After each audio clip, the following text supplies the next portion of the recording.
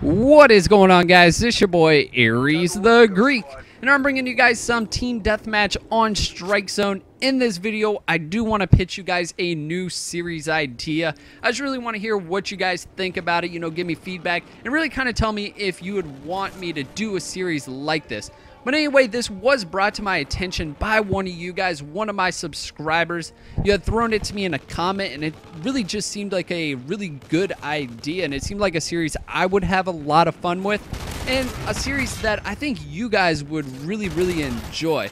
But anyway, what this series would be is a you choose the class. And I actually already have the first gun, actually from the same person that actually gave me this series idea, gave me a gun.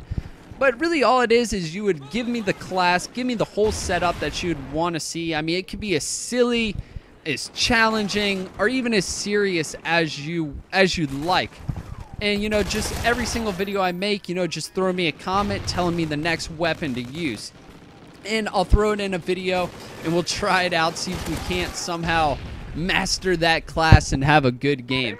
But I really do think it'd be a good idea. It engages you guys a lot and I think, you know, I really like that about this series because when I first made this channel, you know, that was kind of my goal, you know. And I think I've kind of gone away from that. You know, my goal was I wanted this channel to be just as much mine as it is, or just as much yours as it is mine. And, you know, I really haven't engaged with you guys too much. I apologize about that. But I think this would be a good turning point for that and really start to involve you guys in this channel. So I want to do a bunch of things like this.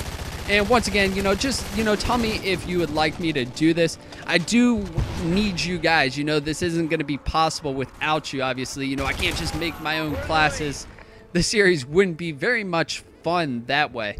But at the same time, you know, I don't want it just to be, you know, two, three people that are giving me classes every time. You know, I want it to be a bunch of people really getting involved in this. That's the way I really only see this this series really working out. Other than that, it will probably just get boring after some time. But I guess I'll take this series as far as, you know, you guys let it. So as long as I'm getting comments, you know, I'll keep doing other videos. You know, when the comments stop, obviously that's when the series will stop. So, but anyway, once again, uh, enough with that. That's the series. Uh, let me know if you'd want to see it, if you think it'd be a good series, and if you guys would get involved in it. I do want to take the time, though, to say thank you to the person that gave me this series idea. I really do appreciate it. And if any of you guys really have any suggestions for this channel, let me know for real because I'll definitely take them into consideration. I mean, if there's something you would really like to see, you know, just throw me a comment and I'll consider it. You know, for instance, with gold weapons, if there's a gun after I'm done with the Bulldog that you'd want to see me try to get gold, you know, let me know. Because I, I definitely, once again, take it into consideration.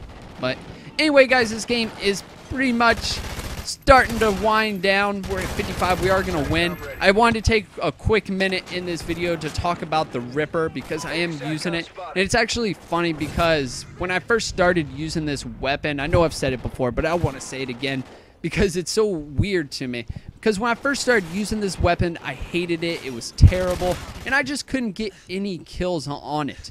But it's funny because as of recently, ever since the Devastation DLC actually came out, actually really started to enjoy this weapon and really started doing good on it, especially on small maps. If you guys haven't used the Ripper or if you're like me and hated it first, give it a shot again because it's really working out for me. But anyway, guys, I'm going to go ahead and end this now. Once again, let me get your feedback. Let me know what you think about this series and if you would want me to do it. And if I did do it, would you really get involved and stay involved in the series? But anyway, guys, I hope you enjoyed. This has been your boy, Ares the Greek. Hey, guys, peace out.